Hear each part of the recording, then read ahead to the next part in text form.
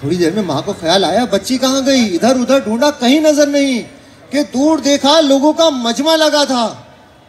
ارے بھائی، ذرا میری بچی ادھر تھی، میں دیکھوں۔ اجی ادھر کھڑی ہو، دیکھو ادھر کوئی بچی گا رہی ہے میں سننے دو۔ ہر کوئی بچی بچی کر کے آ رہا ہے۔ اس بچی نے وہاں جو نغمہ سنایا، تو بھیڑ، لوگ چاہنے والے جمع ہوتے گئے۔ اس کے بعد جب یہ بات لوگوں تک پہنچی لوگوں نے برسوں اس سے کہا کہ تم گاؤ، یہ نغمے سناؤ۔ لیکن اس نے کہا کہ یہ نغمے تو عبادت ہیں اور عبادت تو انسان اپنی روح کے لیے کرتا ہے۔ اسے کہا کہ بھائی اچھا آپ تالی بجا سکتے ہیں۔ ہم نے کہا ادھر ادھر، لیکن وہ نہ مانی۔ سامعین، آپ کے پیش خدمت جو فنکار ہیں، یہ جشن وراثت اور یہاں پہ آج ایک تاریخ کہ یا تو ہندوستان کا آنے والا عظیم فنکار ہوگا آپ کے سامنے، یا آنے سے پہلے ختم ہو جانے والا ایک بچی جس نے اپنے دل میں بہت ارمان سجائے۔ آپ کے پیش خدمت، آپ کی سماعتوں کی نظر، اس کا امتحان اور یقیناً بدلے میں آپ کی محبت ملے گی کہ وہی انداز جو ساڑھے سات سو سال پہلے امیر خسرو نے اپنے نغمے میں پرویا تھا۔ وہی جشن سکل بند پھول رہی سرسوں۔ کہ زوردار تالیوں سے استقبال کیجیے بھارگوی ٹھاکر کا۔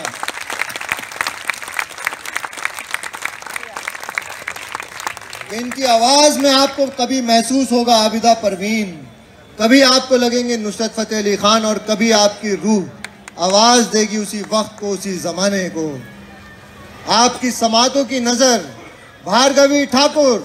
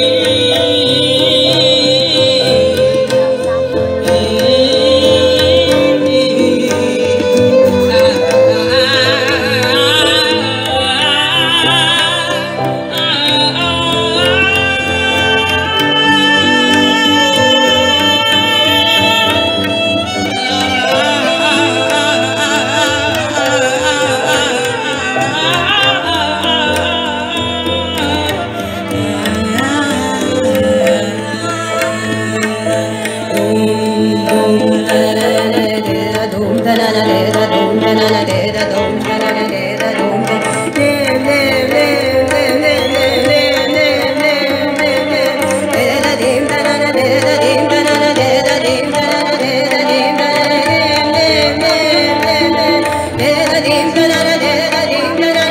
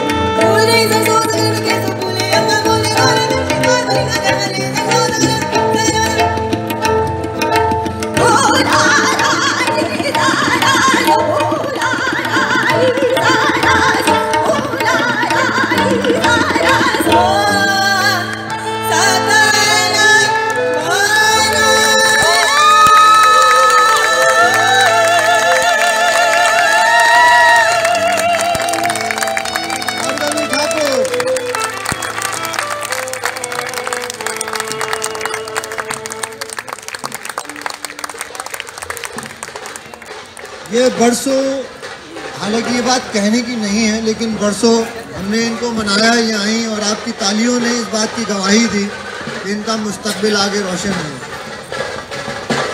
سامعین، جب اردو والوں کا ذکر آتا ہے